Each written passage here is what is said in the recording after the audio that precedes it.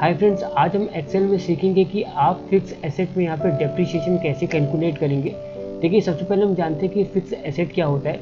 देखिए, अगर आप कंपनी में कोई ऐसा सामान खरीदते हैं, जैसे कि कार हो गया एसी हो गया, जो आप अपने लिए खरीदते कंपनी के लिए खरीदते कस्टमर को बेचने के लिए नहीं खरीदते, इन सबको हम कहते हैं फिक्स एसेट तो फिक्स एसेट की सबसे बेकारी यही होती है कि जैसे जैसे साल बीतते हैं, इनकी जो वैल्यू होती है वो कम हो जाती है। जैसे कि मान लीजिए, अगर आपने एक कार खरीदी तो अगले साल उसकी जो वैल्यू कम हो जाएगी नेक्स्ट टू नेक्स्ट ईयर उसकी वैल्यू और कम होगी तो इस तरह से वैल्यू कम हो जाएगी।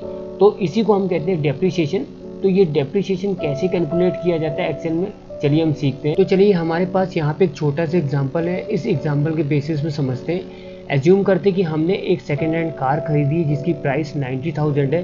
सेल्वेज वैल्यू इसकी फाइव थाउज़ेंड है। सेल्वेज वैल्यू का मतलब ये होता है कि जब इस कार की जो लाइफ है, जब पूरी हो जाएगी तो जो इसका सेल प्राइस है एस्टिमेटेड वो फाइव थाउज़ेंड होगा। लाइफ इन ईयर इस सेकेंड हैंड की जो लाइफ है, वो पाँच साल की है। तो हमको क्या करना है? यहाँ पे आप देख सकते हैं, मैंने पाँच साल लिखे one two three four five तो एक साल बाद इसकी वैल्यू क्या होगी? दो साल बाद क्या होगी? तीन के बाद क्या होगी? चार के बाद क्या होगी? पाँच के बाद क्या होगी?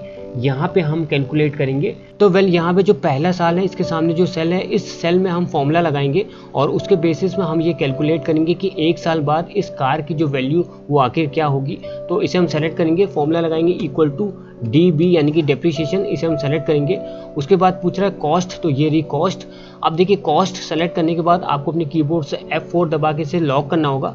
अब लॉक क्यों किया जाता है? देखिए, अगर आपको एक सेल को कई सेल के साथ मल्टीप्लाई करना हो या डिवाइड करना हो ऐड करना हो सब्ट्रैक्ट करना हो तो ऐसे में हम लोग क्या करते हैं? उस सेल को जिससे आप दूसरों में मल्टीप्लाई कर रहे हैं, उस सेल को आपको इस तरह से लॉक करना होता है। अगर आप लॉक नहीं करेंगे तो जब इस फॉर्मूले को आप ड्रैग करेंगे तो पहले साल का तो कैलकुलेट हो जाएगा, लेकिन दूसरे से लेकर पाँचवें के बीच में एरर आ जाएगा।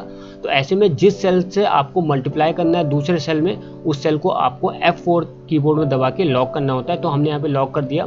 उसके बाद पूछ रहा है सेल्वेज तो ये रहा सेल्वेज इसे हम सेलेक्ट करेंगे, इसके बाद फिर से F4 दबा के इसे लॉक करेंगे कॉमा देंगे लाइफ हुई पाँच साल, इसे हम सेलेक्ट करेंगे, फिर से F4 दबा के इसे लॉक करेंगे कॉमा देंगे, इसके बाद पूछ रहा है पीरियड तो हमें एक साल के बाद सेकेंड हैंड जो कार आपने खरीदी थी, इसकी वैल्यू जाननी है तो आप वन सेलेक्ट करेंगे, इसके बाद ब्रैकेट बंद करेंगे और एंटर करेंगे।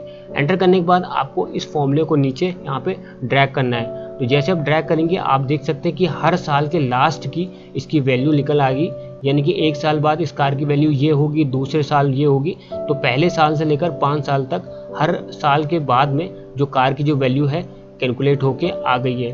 तो इस तरह से इस फॉर्मूले की मदद से आप किसी फिक्स एसेट में डेप्रिसिएशन यहाँ पे कैलकुलेट कर सकते हैं। तो अगर आपको वीडियो पसंद आए वीडियो को लाइक करिएगा शेयर करिएगा चैनल सब्सक्राइब करिएगा।